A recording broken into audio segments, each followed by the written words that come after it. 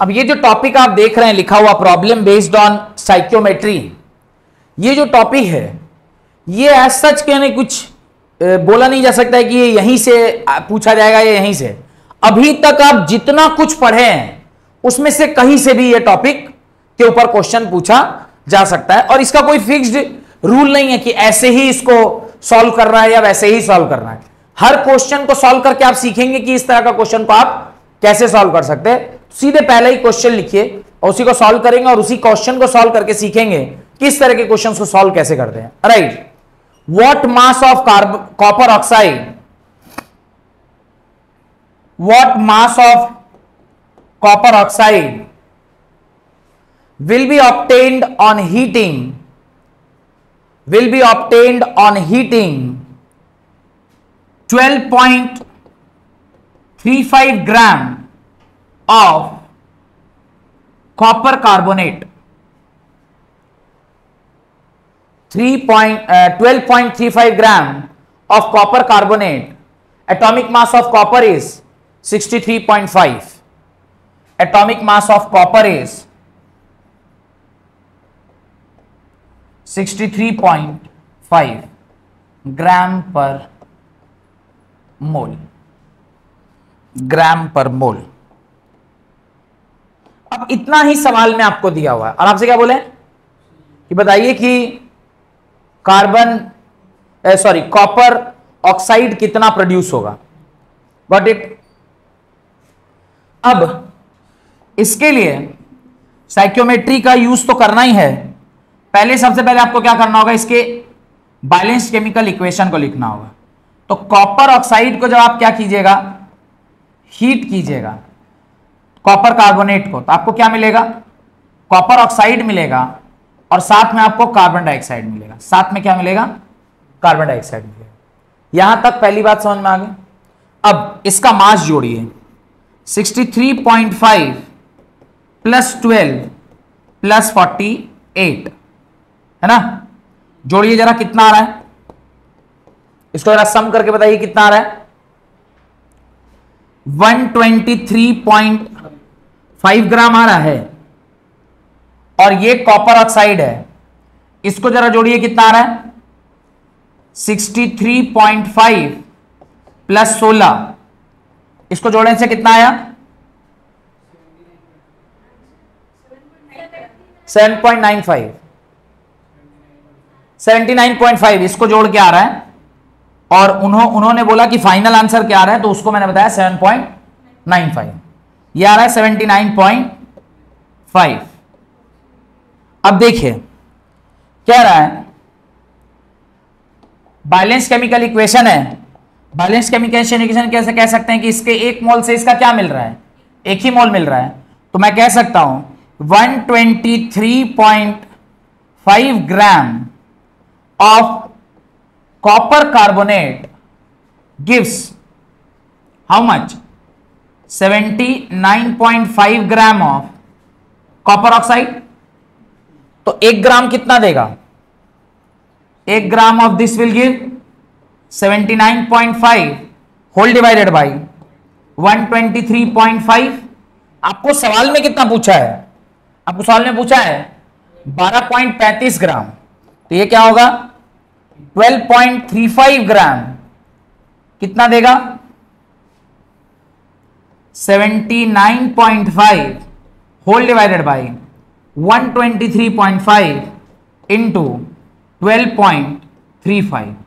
इसको जब आप सॉल्व कीजिएगा तो ये एक बार में और ये दस बार में, और फाइनल आंसर होगा 7.95 gram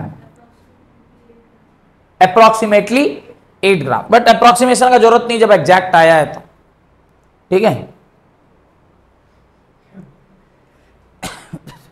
तो ये मास एंड मास रिलेशनशिप था। कैसा रिलेशनशिप था? मास का मास से रिलेशनशिप पर जोरी नहीं हर बार मास से मास में पूछेगा।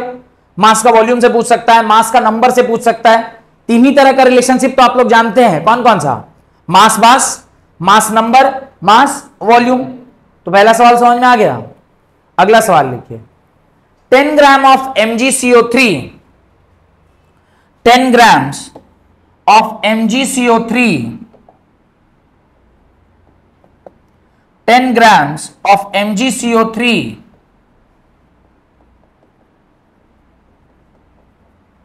10 grams of MgCO3 decomposes on heating to give. Decomposes on heating to give. 0.1 mole of carbon dioxide. 0.1 mole of carbon dioxide and 4 grams of 4 grams of MgO 4 grams of MgO what is the percentage purity of MgCO3 what is the percentage purity of MgCO3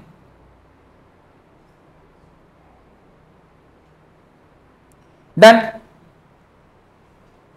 percentage purity क्या होता है?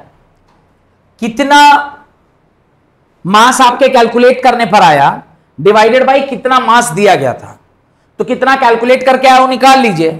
Divided by total into hundred will give you the percentage purity अब निकालेंगे कैसे? तो सबसे पहले अब क्या लिखेंगे? इसका इक्वेशन लिखेंगे। कि MgCO3 को जब आप क्या करते हैं? हीट करते हैं तो ये आपको दो ही चीज़ देगा। MgO देगा और साथ में क्या देगा? CO2 इसका मोल्स आपको दिया हुआ है और इसका मास आपको दिया हुआ है। इसका मास निकाल लेंगे क्या? इसका मास निकालिए। Mg का मास कितना होता है?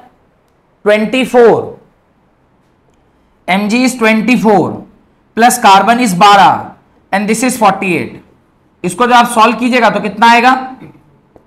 इसको सॉल्व कीजिएगा तो कितना आ रहा है? 84 ग्राम आ रहा है। This is turning out to be 84 gram और ये एमजीओ कितना है? 24 plus 16 this is 40 gram simple logic है कि 40 ग्राम एमजीओ आपको कितना से मिला है? 84 से। तो 4 ग्राम एमजीओ आपको कितना से मिलेगा? लॉजिक क्वेश्चन का समझ में आ रहा है, क्या बोल रहे हैं? आपको उसने बोला था क्वेश्चन में सॉल्व करके आप लाए 40 gram of MgO is form from 84 gram of MgCO3 तो एक ग्राम का निकाल लीजिए और चार ग्राम का निकाल लीजिए। क्या होगा? 84 फोर बाई फोर्टी और चार ग्राम का क्या होगा? 84 four by forty into four solve कीजिएगा, कितना आएगा? सॉल्व कीजिएगा, आएगा 8.4 ग्राम। तो आपके पास जो MgSO4 आया है, वो कितना आया? 8.4 ग्राम। तो परसेंटेज प्योरिटी निकालना है। Percentage purity is equal to mass obtain divided by total mass into how much 100 solve कीजिएगा आंसर कितना आएगा? 84 परसेंट तो ये जो एमजीएसओ एमजीसीओ आपने लिया था, वो कितना परसेंट प्योर है? 84 परसेंट प्योर है। डन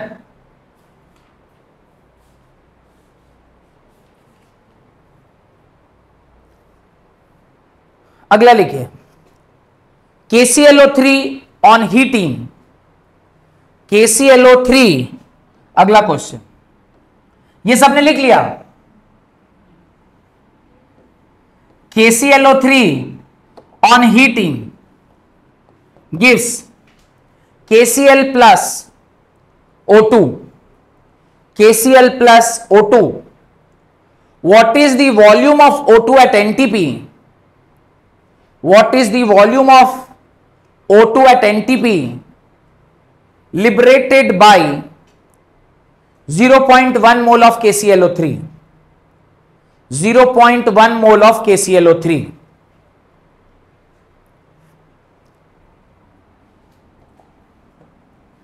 कह रहा है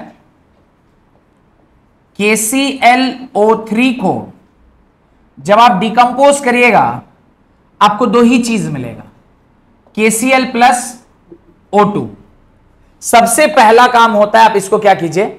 बैलेंस कीजिए। बैलेंस कीजिएगा तो यहाँ दो है और यहाँ तीन है। तो इसके आगे दो लगा दीजिए और इसके आगे तीन लगा दीजिए। तो ऑक्सीजन हो गया बैलेंस ये पोटेशियम और ये इसके आगे भी क्या लगा दीजिए? दो लगा दीजिए। स्ट्राइक्योमेट्री से मुझे क्या समझ में आ रहा है? इसका दो मोल, से इसका मुझे कितना मोल मिला है? दो मोल मिला है और इसका मुझे कितना मोल मिला है? तीन मोल मिला है। यह हमें स्टाइक्योमेट्री से पता चला है। आपको क्वेश्चन में क्या बोला है? What is the volume of O2 at NTP liberated at 0.1 mole? कह रहे जब हम इसका 0.1 मोल लेंगे तो इसका वॉल्यूम कितना होगा? यह हमको क्या करना है? निकालना है। यही निकालना है ना? ध्यान से देखिए। वन मोल ऑफ़ एक मिनट। सबसे पहले क्या लिखेंगे? Two moles of KClO three कितना मोल मिलेगा हमको? डायरेक्ट वॉल्यूम में भी लिख सकते हैं वैसे तो। तो डायरेक्ट ही वॉल्यूम में लिखते हैं। Three moles of KClO three gives या हाँ ठीक है gives three into twenty two point four litre of O two लिख सकते हैं क्या? देखिए तो। ऑफ़ ओ टू ये लाइन समझ में आ गई तो फिर क्वेश्चन खत्म हो गया। ये लाइन समझ में आ गई तो बोलिए। इसके दो मोल से इसका तीन मोल। तो इसके दो मोल के सी थ्री से मोल के जगह पे 22.4 लिख सकते हैं। बताए थे ना कि मोल तीन ही चीज़ों से रिलेटेड है। एक नंबर एक मास और एक वॉल्यूम तो वॉल्यूम से हमने इसको क्या कर दिया? रिलेट कर दिया। जब इसको रिलेट किया तो ऐसा आ गया। अब एक मोल एक मोल, ये तो हो गया दो मोल का। आपको क्या निकालना है? 0.1 मोल। तो पहले वन मोल का निकाल लेते हैं। एक mole of KClO three gives three into twenty two point four divided by two और आपको कितने में पूछा है? ज़ीरो पॉइंट वन मोल में। तो ज़ीरो पॉइंट वन मोल में क्या होगा? Three into twenty two point four by two into zero point one solve कीजिए। जो आंसर आएगा वही क्या होगा? आंसर होगा। 3.36 litre will be on will be on answer इसको सॉल्व करने पर कितना आएगा? 3.36 आएगा। अभी तीन चार सवाल कर लिए थोड़ा लॉजिक डेवलप हो रहा है। सबसे पहला काम क्या है? इक्वेशन लिखना। इक्वेशन अगर आप सही लिखेंगे तो ही सवाल सॉल्व होगा। वो भी कैसा? Balanced chemical equation balance chemical equation अगर आपने सही लिखा है तो आप उसका सही परफेक्ट आंसर दे पाइए। क्वेश्चन लिखिए अगला। What volume of air at NTP what volume of air at NTP containing 21% oxygen by volume.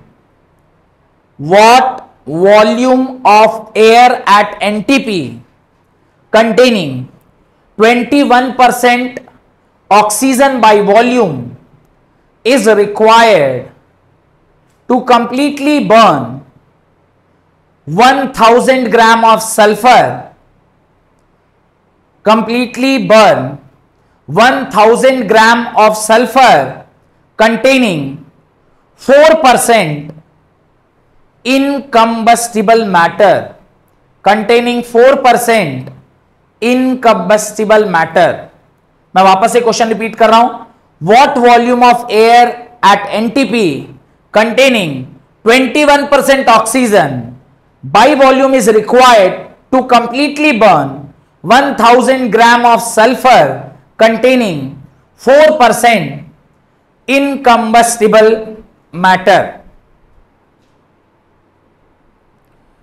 तो ये वाला जो क्वेश्चन है, बहुत ही आसान क्वेश्चन है, अगर आपने इसको ठीक से समझा है। ध्यान से देखिए, ये सब समझने वाला क्वेश्चन है। कह रहा है, एक हज़ार ग्राम आपके पास क्या है? सल्फ़र है। इस सल्फ़र को आप क्या कर रहे हैं? जला रहे हैं।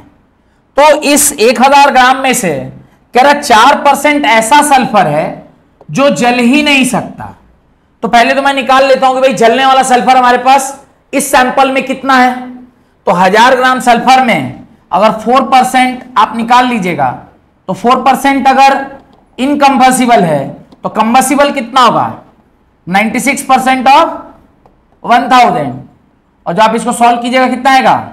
96 divided by 100 into one thousand क्या जाएगा 960 ग्राम तो 960 ग्राम क्या निकल के आ गया? जलने वाला सल्फ़र जिसको आप जलाएँगे तो वो जल जाएगा, वो सल्फ़र कितना आया? 960 ग्राम आया। अब, इसके आगे सल्फ़र की रिएक्शन जब आप ऑक्सीजन से करते हैं तो मुझे क्या मिलता है? सल्फ़र डाइऑक्साइड मिलता है। करेक्ट? अब इसका 32 ग्राम से इसका 22.4 लीटर, क्योंकि इसको स्टाइक्योमेट्रिक कोफिशिएंट में ये भी वन, ये भी वन तो इसके एक मोल से इसका एक मोल तो इसके 32 ग्राम से अगर आप मास और वॉल्यूम को रिलेट करेंगे तो इसका 22.4 लीटर जलेगा, नहीं जलेगा। क्लियर? मैं स्टेटमेंट में क्या लिखूँगा? मैं स्टेटमेंट में लिखूँगा 32 gram of sulphur is burn in 22.4 litre of 22.4 litre of oxygen 22.4 litre of oxygen एक ग्राम बराबर 22.4 डिवाइडेड बाई 32 और आपको कितना ग्राम का चाहिए? 960 ग्राम का कितना होगा? 22.4 divided by 32 two into nine solve करके देखिए। मेरे ख्याल से एक बार में और ये तीस बार में जाएगा। और ये होगा 66.7 मल्टीप्लाई करिए। फोर थ्री जा ट्वेल्व का टू। Seven six. पॉइंट हो गया। तो इतना लीटर आ गया। Six seventy two litre. Clear अब। आपको सवाल में क्या बोला है? आपको सवाल में बोला है,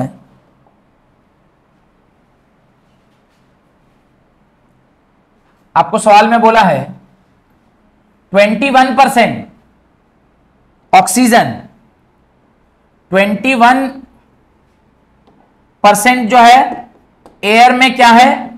ऑक्सीजन है। इसका क्या मतलब है? इसका मतलब है कि 21 litre of oxygen is present in 100 litre of air एक लीटर ऑक्सीजन में कितना एयर होगा? 100 बाई 21 आपको कितना लीटर में चाहिए? 672 लीटर में कितना होगा?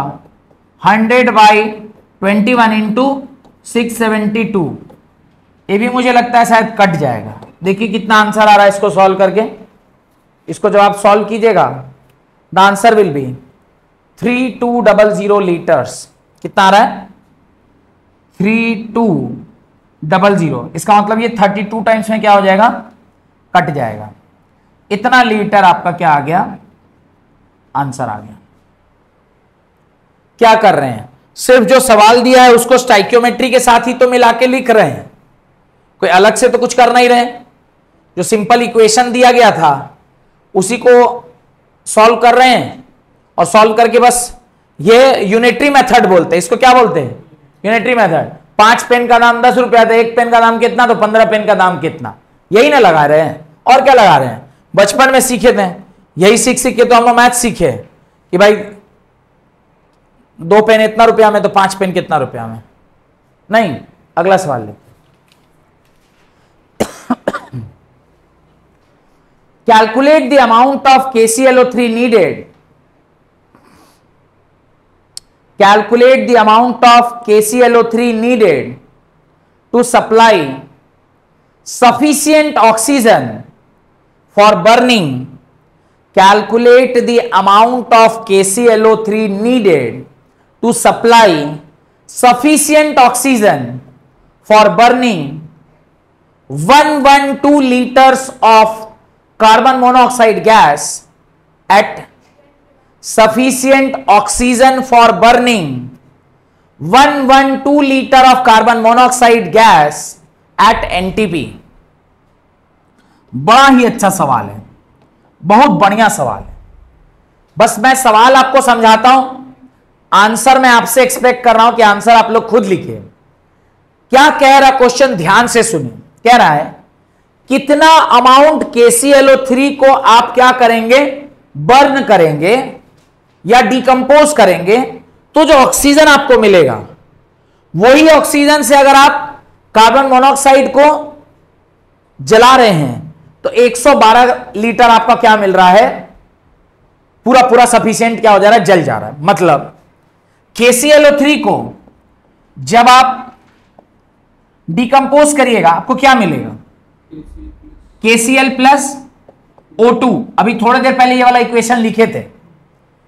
थोड़ी देर पहले हमने ये वाला इक्वेशन लिखा था KClO3 when gives KCl plus O2 आज ही के क्लास में दूसरा या तीसरा क्वेश्चन इसी के ऊपर दिए थे। अब कह रहा है कि जितना ऑक्सीजन यहाँ प्रोड्यूस हुआ है that is sufficient to burn carbon monoxide that is sufficient to burn that is sufficient to burn carbon monoxide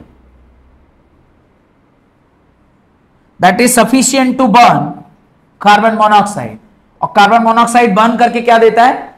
carbon dioxide देता है। मतलब ध्यान से समझिए।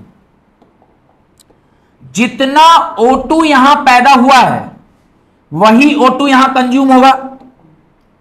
जितना O2 वहाँ पैदा हुआ है, वही O2 यहाँ कंज्यूम होगा। और इसका लीटर दिया हुआ है 112 लीटर। इसका कितना दिया है? 112 लीटर। आपसे पूछ रहा है कि बताइए कितना KClO3 लिया होगा। तो पहले इन सबको बैलेंस कीजिए। दोनों इक्वेशन को क्या कीजिए? बैलेंस कीजिए। तो जब आप इसको बैलेंस करेंगे, मेरे ख्याल से यहाँ टू लगेगा, यहाँ टू लगेगा, और यहाँ थ्री लगेगा। और इसको बैलेंस करिएगा तो यहाँ अगर आप दो लगा देंगे, यहाँ दो लगाएँगे हो जाएगा चार। यहाँ दो लगा दीजिएगा तो ये भी हो जाएगा चार। बैलेंस हो गया, देखिए तो। डन कोई डाउट है तो पूछिए। नहीं? अब, ये दोनों इक्वेशन तो बैलेंस हो गई लेकिन हम लोगों को जितना ऑक्सीजन यहाँ पैदा हुआ है, उतना ही ऑक्सीजन यहाँ यूज़ हुआ होगा। तो यहाँ पे थ्री टाइम्स ऑक्सीजन और यहाँ पर तो इसको भी पहले क्या करना होगा? थ्री टाइम में कन्वर्ट करना होगा। जब ये थ्री टाइम में कन्वर्ट होगा तो नया इक्वेशन क्या हो जाएगा? Six times carbon monoxide react with three times O two it gives six times carbon dioxide अब जाके दोनों इक्वेशन क्या हो गई? सेम हो गई। अब जाके दोनों इक्वेशन क्या हो गई? सेम हो गई। तो जितना यहाँ पैदा हुआ, उतना ही यहाँ क्या हो गया? यूज़ हो गया। अब स्टाइक्योमेट्री से हम लिख सकते हैं, इसके छह मॉलिक्यूल्स इसके छह मोल्स यानी इसके तीन मोल से इसका छह मोल या इसके छह से इसका तीन लिख सकते हैं ना? Six moles of carbon monoxide को बर्न करने के लिए कितना चाहिए? थ्री मोल्स O2 चाहिए। तो आपको कितना बोला है? आपको कितना बोला है? 112 लीटर। तो पहले इसको भी लीटर में बदल लेते हैं। Six into twenty two point four litre of CO will give three into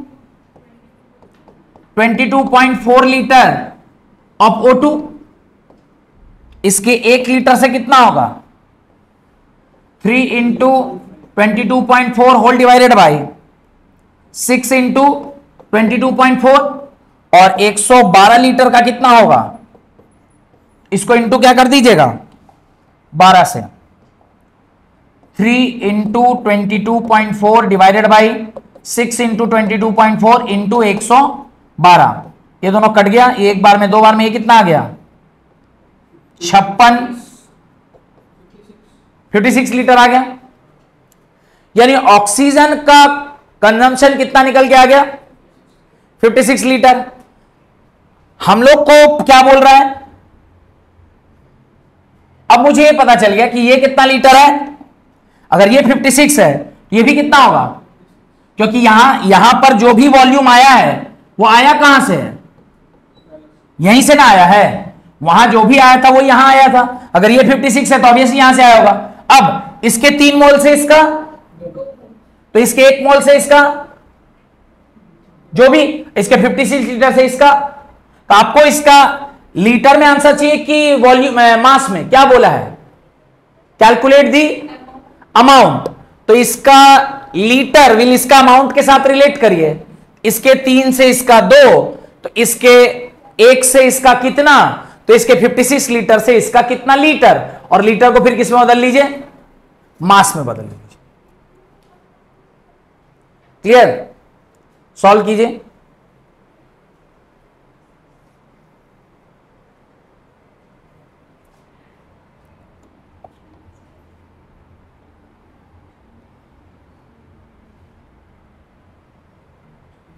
solve कीजिए। क्या आ रहा है देखिए।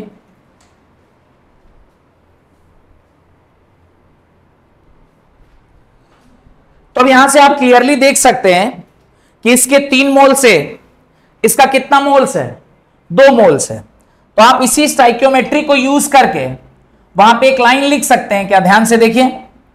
Three moles three moles of O2 is produced from 2 moles of KClO3 ये लिख सकते हैं क्या? हम लोग को क्या पूछा है? यहाँ पे मास पूछा है और इधर क्या दिया हुआ है? वॉल्यूम तो थ्री मोल्स को वॉल्यूम में बदलिएगा तो क्या लिखिएगा three into twenty two point four litre लिखिएगा। और टू मोल्स को जब मास में बदलिएगा तो क्या लिखिएगा? Two into one twenty two point five लिखिएगा। इसके इतना लीटर से इतना ग्राम, इतना लीटर से इतना ग्राम। हम स्टेटमेंट नहीं लिख रहे, आप लोग लिख लीजिएगा। एक लीटर से कितना gram? Two into two into one twenty two point five divided by three into twenty two point four. लेकिन आपको कितना लीटर का चाहिए? आपको चाहिए 56 लीटर का। छप्पन इंच का मोदी जी का सीना का। नहीं, वो लिखा था ना, मोदी जी का सीना ट्वेंटी। इसको इंटू फिफ्टी सिक्स कर दीजिए। जब आप इसको सॉल्व करिएगा आंसर आएगा two zero four point one six seven gram. Clear logic भी क्लियर है? इस तरह से आप देख पा रहे हैं कि स्टाइकोमेट्री को कैसे यूज़ करके हम लोग क्या करते हैं? अलग अलग टाइप का क्वेश्चन सॉल्व करते हैं। एक कॉन्सेप्ट है, उसको हम लोग बोलते हैं लिमिटिंग रिएजेंट सुने हैं इसके बारे में? लिमिटिंग रिएजेंट सुने हैं? क्या होता है लिमिटिंग रिएजेंट साइसा, बताइए। What is a limiting reagent ये समझ में आया? इस तरह का क्वेश्चन समझ में आ रहा है? What is a limiting reagent बताइए। हाँ एग्ज़ाम्पल ही बताइए।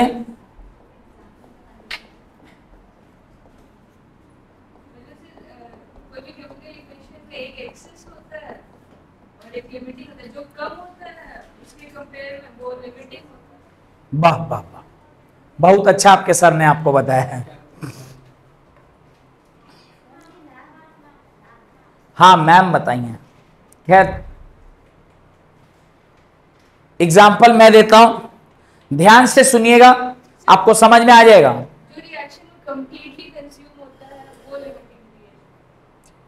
चलिए अच्छा आप कॉपी में देख के आपको याद आ गया ना? अब जो मैं बोल रहा हूँ उसको ध्यान से सुनिए। लिमिटिंग रीजेंट किसे बोलते हैं? एक छोटा सा एग्ज़ाम्पल लेते हैं। उसी से लिमिटिंग रीजेंट कोशिश करते समझने का। मान लीजिए कि आप किसी कॉलेज में, आप प्रेसिडेंट हैं। होता है ना कॉलेज में प्रेसिडेंट वगैरह होता है। आप किसी कॉलेज में प्रेसिडेंट बने और आपको कल कोई फेस्ट कॉलेज वगैरह में कल्चरल फेस्ट टेक फेस्ट सब होता रहता है। आपको एक फेस्ट ऑर्गेनाइज करना है। उस फेस्ट ऑर्गेनाइजेशन में आपको हज़ार पेज जेरोक्स कराना है, एक ही दिन में। मतलब या दस हज़ार मान लीजिए, अगर आपको एक हज़ार कम लग रहा है, दस हज़ार कॉपी प्रिंट करवाना है। तो कितने पेजेस प्रिंट कराने हैं आपको? दस हज़ार पेज आपको क्या करना है? प्रिंट कराना है। और ये डिसाइड हुआ है रात के आठ बजे। प्रेसिडेंट ने किसी को बोला, जैसे अश्मित को बोला वाइस प्रेसिडेंट था ये। कि अश्मित, जाओ अभी आठ बज रहा है। कल सुबह साढ़े सात बजे अपना इवेंट है, तुम ये दस हज़ार कॉपी प्रिंट करा के ले आओ। अब ये क्या करेगा? तुरंत उससे पैसा लिया होगा और तुरंत भाग गया होगा किसके पास? जेरोक्स वाले भैया के पास। जेरोक्स वाले भैया के पास गया होगा। तो जेरोक्स वाले भैया, कल सुबह साढ़े सात बजे ये दस हज़ार कॉपी प्रिंट करके दे देंगे। इसमें क्या क्या चीज़ें रिक्वायर्ड है? तो सबसे पहला, जो सबसे इंपॉर्टेंट चीज़ रिक्वायर्ड था, वो क्या है? कि भैया के पास दस हज़ार पेपर होना चाहिए। अगर उनके दुकान में रात में आठ बजे दस हज़ार पेज नहीं होगा तो कल सुबह हमें पेज डिलीवर नहीं होगा। मान लीजिए कि उनके पास दस हज़ार का बीस हज़ार पेज है, लेकिन जेरोक्स मशीन के अंदर जो इंक लगता है, वो इंक पाँच हज़ार कॉपी प्रिंट करने योग्य ही बचा हुआ है। पाँच हज़ार के बाद और प्रिंट नहीं होगा। तो पाँच हज़ार पेज के बाद अगर प्रिंट नहीं हो रहा तो इंक उतना ही बचा हुआ है जितना पाँच हज़ार पेज होगा। तो अभी ये हमारे पाँच दस हज़ार पेज को प्रिंट होने नहीं देगा, लेकिन उनके पास सफिशियंट इंक भी था। इंक की मात्रा भी क्या थी? सफिशियंट थी। अच्छा। ये भी हमारे पास सफिशियंट है और ये भी हमारे पास सफिशियंट है। अब तीसरा क्या हो सकता है? मशीन जो रात भर प्रिंट करेगा, उसके लिए इलेक्ट्रिसिटी लगेगा। रात भर बिजली रहेगा, ये गर्मी का दिन है। अगर रात भर बिजली ही नहीं रही, रात भर मान लीजिए छह घंटा का वो काम है पूरा और छह घंटे बिजली ही नहीं रही तो आप प्रिंट करके नहीं दे पाएँगे। तो अगला है इलेक्ट्रिसिटी इलेक्ट्रिसिटी भी सिक्स आवर्स वहाँ पे क्या होना चाहिए? होना चाहिए। चौथा एंड द मोस्ट इंपॉर्टेंट जो भैया प्रिंट कर रहे हैं रात भर जगह होने चाहिए। छह घंटा अगर नहीं जग पाए प्रिंट होगा तो प्रिंट नहीं होगा तो रात भर उनको जगना भी होगा। अपने स्लीप को स्लीपलेसनेस में बदलना होगा। अगर ऐसा हुआ तो जाके कल साढ़े सात बजे ये अपने प्रेसिडेंट को सुबह दस हज़ार कॉपी दे पाएगा। कोई डाउट यानी रिएक्शन में अब इसको मैं अगर तब्दील करूँ तो रिएक्शन का रिएक्टेंट क्या है? दस हज़ार कॉपी का प्रिंट होना। और प्रोडक्ट क्या है? दस हज़ार कॉपी प्रिंट हो गया। इस रिएक्शन को कंप्लीट करने के लिए दस हज़ार पेजेस लगे।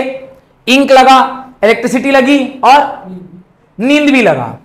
मतलब ये नींद नहीं आना चाहिए उसको। मान लीजिए वो जो भैया है, उसके पास दस हज़ार कॉपी था, इंक भी था, रात भर इलेक्ट्रिसिटी भी था, कि भैया सो गए तीन घंटा बाद। दस हज़ार कॉपी प्रिंट हुआ। हाँ अरे वो तो आएँगे अभी अभी ऊपर आएँगे। पहले भैया ही तीन घंटा में सो गए तो कल सुबह दस हज़ार कॉपी मिलेगा। तो हमारे रिएक्शन को किसने रोक दिया? भैया ने रोक दिया। अच्छा मान लीजिए भैया भी बोले एकदम बढ़िया हम जगेंगे, हम एक का दो रुपया देने के लिए तैयार थे भैया बोले हम जगने के लिए तैयार हैं। लाइन ही कट गई।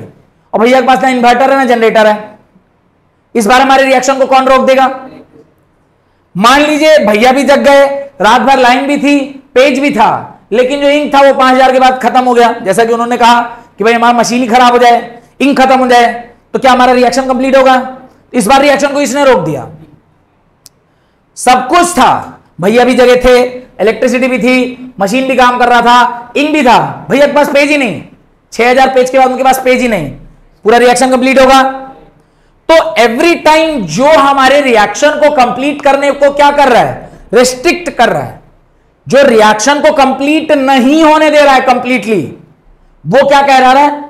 लिमिटिंग रिएजेंट वो हमारे इस प्रोसेस को लिमिट कर दे रहा है। वो हमारे प्रोसेस को कंप्लीट नहीं होने दे रहा। वो हमारे प्रोसेस को लिमिट कर दे रहा है। ऐसा कोई भी एजेंट जो हमारे प्रोसेस को क्या कर दे? लिमिट कर दे। हमारे प्रोसेस को रोक दे। हमारे रिएक्शन को कंप्लीट होने से अधूरा छोड़ दे। उसको हम लोग क्या कहते हैं? That is only called as limiting reagent got it the react got it तो लिमिटिंग रिएजेंट उस एजेंट को बोलते हैं जो रिएक्शन को कंप्लीट ना होने दे। ये तो हो गया जनरल बात।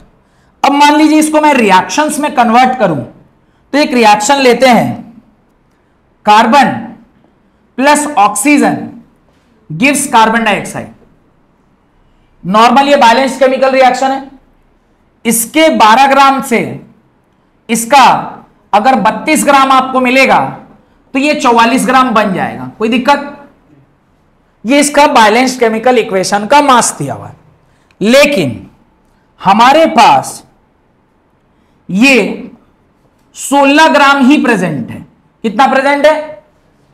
16 ही ग्राम प्रेजेंट है। तो इसके एक मोल से इसका एक मोल कंज्यूम हो रहा था तो इसके 32 ग्राम से इसका कितना कंज्यूम होगा? 12 ग्राम। लेकिन हमारे पास है कितना? 16 ये इसका आधा है तो इसका भी आधा ही कंज्यूम होगा। तो after the end of the reaction ये कितना कंज्यूम हो गया?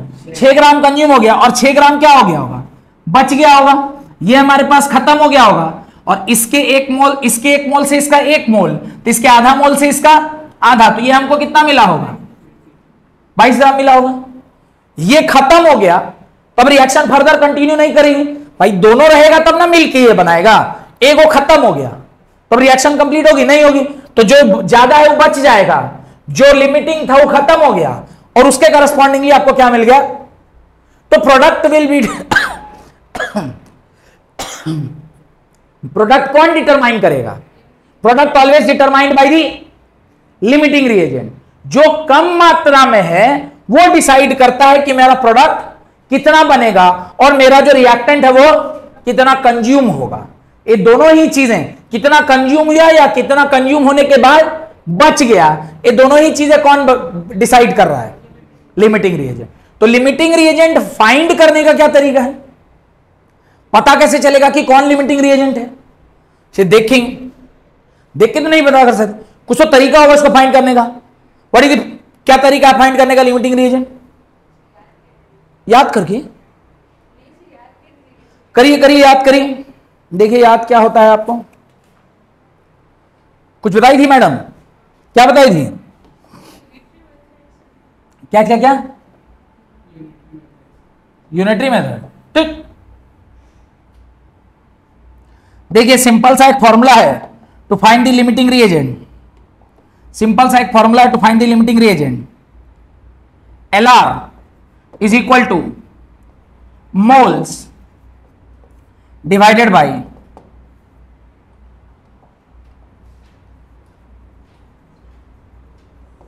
moles by stoichiometry moles divided by stoichiometry जिसका भी क्या है? कम है। वो कौन है? कॉटिक मोल्स बाई साइक्योमेट्री जिसका कम है, वो कौन है? लिमिटिंग रीजन ये ज़्यादा अच्छा तब समझ में आता है जब हम लोग एक क्वेश्चन करते हैं कि मोल्स डिवाइडेड बाई साइक्योमेट्री क्या होता है? लिमिटिंग रिएजेंट होता है। तो क्वेश्चन आप आज की क्लास में लिखिए। हम लोग अगली क्लास में उसको क्या करेंगे? सॉल्व करेंगे। लिमिटिंग रिएजेंट के ऊपर घर पर थोड़ा सा पढ़ के आइएगा थ्योरी वगैरह। तो अगली क्लास में इसके ऊपर सवाल सॉल्व करेंगे। आप क्वेश्चन लिख लीजिए। Three grams of H two react with 29 gram of O2, 3 gram of H2 react with 29 gram of O2 to yield H2O. 3 grams of H2 react with 29 gram of O2 to yield H2O. 3 gram H2 आप लिए हैं 29 ग्राम of O2 लिए हैं water बनाने के लिए Question number 1. What is the limiting reagent? What is the limiting reagent? Question number 2. Calculate the maximum amount of water that can be formed. Question number 2. Calculate the maximum amount of water that can be formed. And question number 3. Calculate the amount of question number three calculate the amount of one of the reactant which remain unreacted calculate the amount of one of the reactant which remains unreacted अब देखिए अगली class में नहीं जा सकता है। क्यों? क्योंकि आज ही की क्लास में इसको खत्म करना होगा। क्वेश्चन है ना? क्वेश्चन दो क्लास में कैसे जाएगा? क्वेश्चन नहीं नहीं नहीं क्वेश्चन दो क्लास में नहीं जाता है। जल्दी जल्दी, दो मिनट में खत्म हो जाएगा। देखिए ध्यान से, क्या है?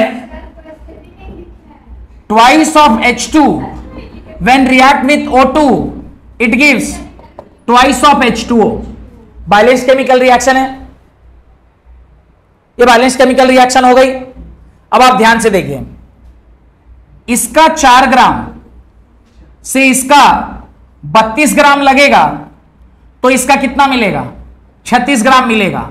ये तो मिलना चाहिए, पर आपके पास इसका कितना ग्राम है? तीन ग्राम है, और इसका कितना ग्राम है? ट्वेंटी नाइन ग्राम है। अब मुझे ये निकालना है कि इन दोनों में से लिमिटिंग रिएजेंट कौन है? एक तरीका है, दोनों का क्या निकाल लीजिए? मोल निकाल लीजिए, और डिवाइडेड बाय उसका स्टाइक्योमेट्री तो दोनों का मोल निकाल के स्टाइक्योमेट्री से डिवाइड कीजिए, दो छोटा है, वो क्या हो जाएगा? लिमिटिंग रिएजेंट मोल्स क्या होता है? Mass upon molecular mass.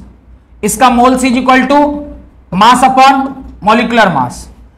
LR निकालने का formula, moles divided by stoichiometry इसका LR moles divided by stoichiometry यही आ गया। इसको सॉल्व किया कितना आएगा? थ्री बाई एट इसको सॉल्व किया कितना आएगा? Twenty nine by thirty two. ये अप्रोक्सीमेटली देखिएगा ज़ीरो पॉइंट नाइन आएगा। और इसको देखिएगा तो कितना आएगा? ज़ीरो पॉइंट कितना होगा? ज़ीरो पॉइंट थर्टी टू होता तो फोर होता, ज़ीरो पॉइंट थ्री एट के आसपास आएगा। कौन छोटा है? ये वाला कि ये वाला? विच इज़ स्मॉलर तो लिमिटिंग रिएजेंट कौन है? यानी आपके रिएक्शन को कौन रिस्ट्रिक्ट कर देगा? यानी सारा का सारा कैलकुलेशन आप किसके हिसाब से चलेगा? कहेंगे दो mole of H two gives what दो मोल्स ऑफ़ वाटर आपको दो मोल का दो मोल दिया है। मोल को अगर मास में बदलेंगे तो कितना होगा? चार ग्राम। चार ग्राम से कितना मिल रहा है? अठारह दुना छत्तीस ग्राम। एक ग्राम से कितना मिलेगा? Thirty six by four. आपको कितना दिया है? तीन ग्राम दिया है। तीन ग्राम से कितना आएगा? Thirty six by four into three ये कितना बार में कटेगा? नौ बार में। यानी ये कितना आंसर आ गया? तो कितना पानी प्रोड्यूस हुआ? 27 ग्राम। कौन सा लिमिटिंग रिएजेंट है? H2 पूछा है तीसरा बिट में, कौन सा सामान बच जाएगा? तो जो लिमिटिंग रिएजेंट होता है, वो तो पूरे पूरी खप जाता है। तो ये तो पूरा पूरा खप गया। इसके चार ग्राम से इसका बत्तीस ग्राम तो इसके एक ग्राम से इसका बत्तीस बटा चार तो इसके तीन ग्राम से इसका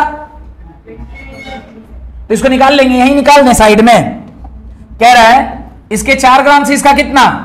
बत्तीस तो इसके एक ग्राम से इसका कितना? बत्तीस बटा चार तो इसके तीन ग्राम से इसका कितना? बत्तीस बटा चार इंटू तीन, आठ तो ये आपका चौबीस ग्राम तो ये कितना खत्म हो गया होगा? चौबीस ग्राम तो बचा कितना? तो टोटल ट्वेंटी नाइन ग्राम था, उसमें से चौबीस ग्राम क्या हो गया? खत्म हो गया तो बचा कितना? आपसे क्या पूछा है? Calculate the amount of one of the reactant which remains unreacted तो 29 ग्राम में से 24 ग्राम खत्म हो गया तो कितना बचा? तो जो एलआर होगा, उसके बगल वाला ही ना बचेगा। तो कितना ग्राम बच गया? पाँच ग्राम। तो आंसर क्या होगा?